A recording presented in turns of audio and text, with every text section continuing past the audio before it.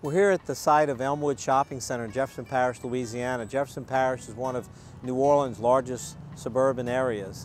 Um, it's located on, on uh, Clearview Parkway uh, Boulevard and a new road that we constructed here that really broke the project open called Citrus Boulevard. It is also the location of the county or the parish seat. The Jefferson Parish governmental offices are here, uh, as well as a number of other uh, local large businesses and employers.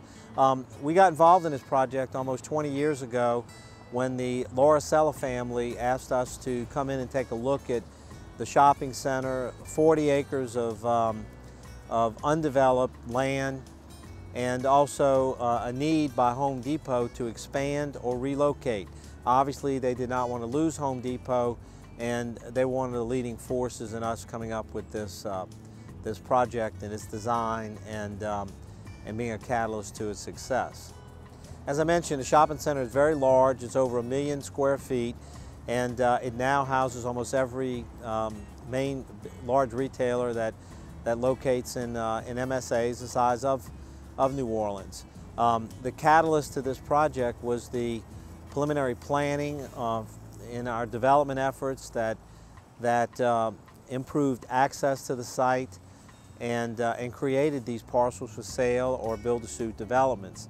Um, Citrus Boulevard was that catalyst.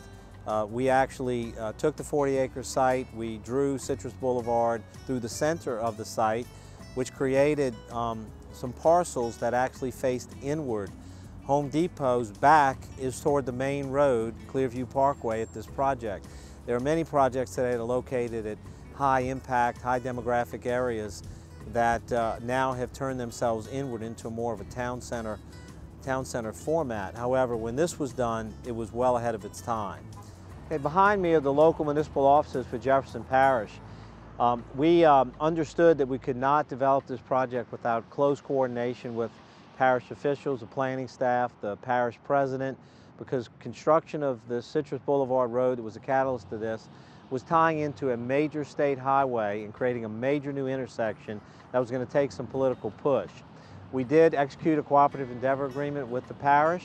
Uh, the, my clients, the, the development um, owners, owners of this project, donated the right-of-way for the road. The parish funded the road construction.